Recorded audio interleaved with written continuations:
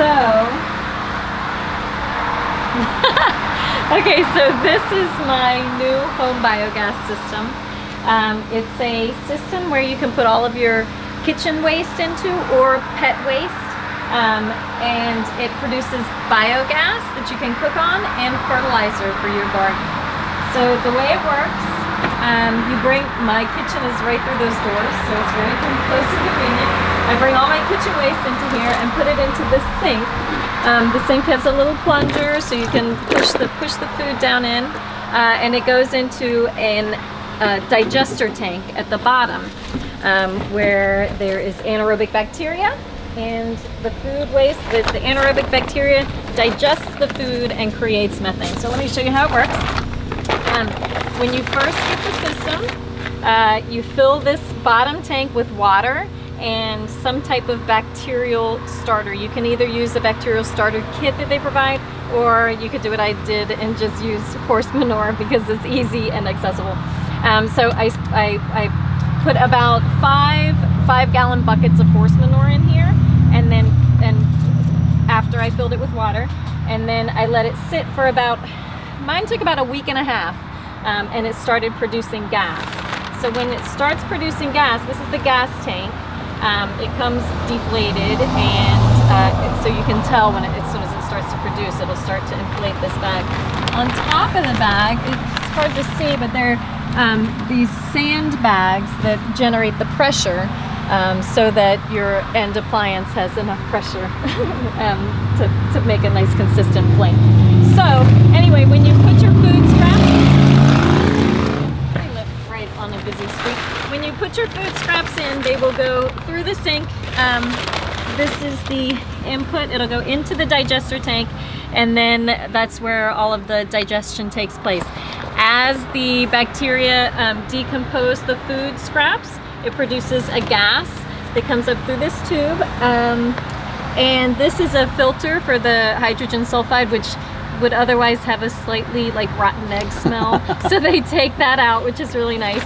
And then the, the biogas, the clean biogas goes into the gas bag. And it's full. It's full, right? And this is about 65% methane, 35% carbon dioxide, depending on what you're feeding it um, which which creates a really nice, beautiful flame to cook on. And yes. Now you have you have a couple of these units right now, right? I do. One is just strictly for uh, showing, to taking to shows, right. um, because once you fill this up, you can't really transport yeah. it. Yeah, yeah. You'd have to empty it again. But anyway, so then the gas goes into here, it goes out the yellow um, line. This will never get too full. Um, once it once it uh, you know, the bag fills up, it will burp out any excess. So you can leave it for extended periods of time. Um, and then also, as you add the food waste into here, this because this uh, bottom tank is always full, as you add the food waste, nutrient-rich natural fertilizer, liquid fertilizer comes out the other end. And so that is amazing. I've been using it on my plants. Um, you can um, see the results. Right? and they say it makes uh, like 70% more productive plants. I don't know. So, um, how much food scrap are you putting in a day? I think I put in about a quart a day. You okay. can put up to six quarts a day. Um, but I, like I said, I have never run out of gas. Well, we can see, yeah. Right, it's That's pretty full. full. Um, and I cook my tea and my eggs on it every morning. I have mine connected to these uh, this stove over here. It's just outdoor. It works beautifully. Um, and then I, I really like the fact that I get the fertilizer because I am trying to grow a lot of a lot of my own. Now, how much are these units going for right now? These units cost $1,090. You can order them off of um, homebiogas.com. Uh, they're shipped from Israel, so the company is based in Israel. Um, it's manufactured in Israel, which some people like that because it's nice quality. Um, and the company really does a lot of humanitarian efforts, which I like also. They have systems. They've donated to Syrian refugee camps and they put them in in underserved communities. And it's really, really nice. So nice let's, let's show everybody what the output is then. Okay, so um, like I said, the gas is stored in this tank, which is connected uh, to this tube. Right now I've got it closed because I've been testing various appliances. This is just a little drainage outlet, um, which is sometimes condensation may form. I've never had anything come out of that. But so we, when we open this valve, uh, I can then go turn on the stove and light it up and you can see the beautiful flame it creates. And then this is where the, um, the fertilizer comes out. And then it, and really it's... And also the burping?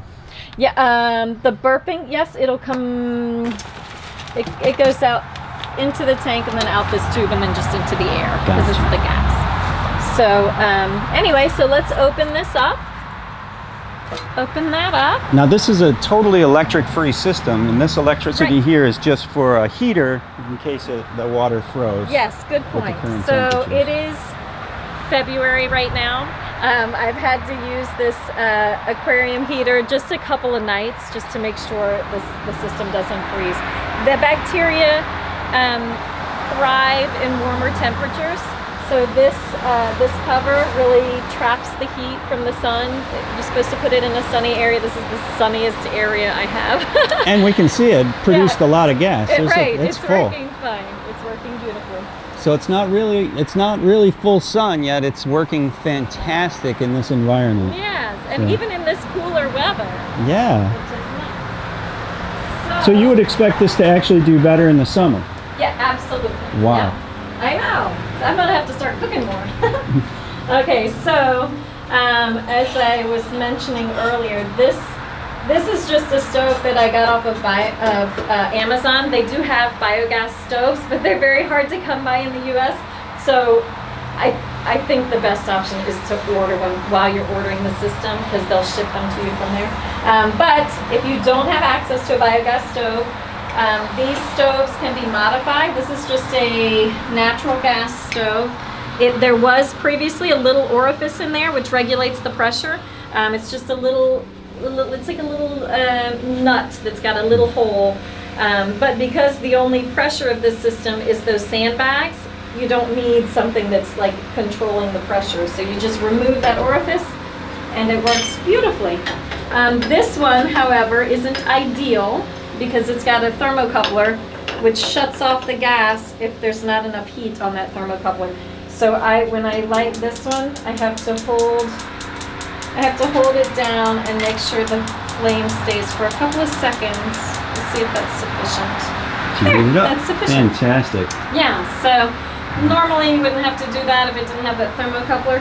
But then, but then look, it's beautiful and you can, I mean, two hours a day is really sufficient for my needs and I have two teenage boys. Um, so because look, what, water takes 10 minutes to boil maybe and then my eggs are another four minutes and then I've got all this leftover gas. Yeah. So totally practical. It works. Yeah. This isn't experimental. I mean, this setup right now is, is experimental, but you've proven at this point that the system does work Absolutely. and meets all of your needs as a homeowner. Exactly. Yep. And I also have a lantern that I can hook it up to, like if I'm if so that it doesn't release. Um, I can hook it up to the to a lantern and just have a nice little light glowing at night. And, fantastic. yeah, Meets all of your needs. Indeed. So between this system and solar power, you could totally live off grid pretty much anywhere in the world. It's it's uh, you know once you set it up, it's portable, but once you set it up, it's it's going to stay there. But uh, uh, looking at the materials that it's made from, doesn't look that heavy. right. So No, and you can like if you wanted to spend a few months one place, a few months another place, you could always drain it. They do. There's it's a easy to drain. well, the system's cheap enough. You could leave it there. Could too, but this you just roll out this hose and you can uh, empty it into buckets and use it also as fertilizer and compost. And All right. yeah, pretty neat system. Well, I got to tell you, I might be interested in buying one, Yay! um, and then donating it. So, Excellent. Yeah. So Beautiful. we'll see uh, who we can get to set that up on their property and give it a real test, maybe with um, multiple people to see how I uh, think that would be how much we can get out of it as, as an experiment. Fantastic. Well, thank you for coming. Thank you, Tracy.